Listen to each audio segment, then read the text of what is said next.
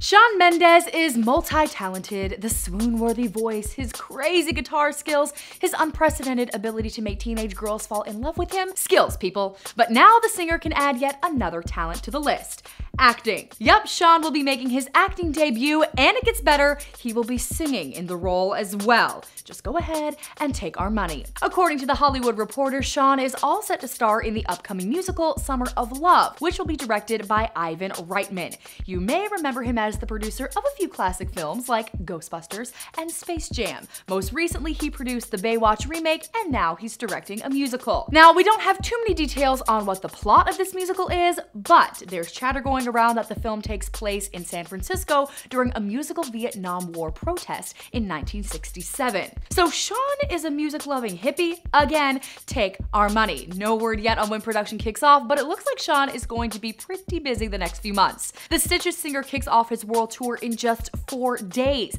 March 18th, and he'll be playing shows all over the world until September. Shawn's ready for the tour too. He recently tweeted out, been rehearsing all week for tour, working with the band to create awesome live moments with you guys. So ready to get out there. Now, even though this new role will be Shawn's acting debut, he's actually got a little experience under his belt. You may remember Shawn voiced a character for the 2013 animated movie Underdogs. But is anyone else happy that we're actually going to see Shawn on screen this time? Oh, come on, it can't just be me. Let me know if you're excited about Shawn's acting debut in the comment section below. And for more entertainment news, click the boxes and be sure to subscribe subscribe to Hollyscoop.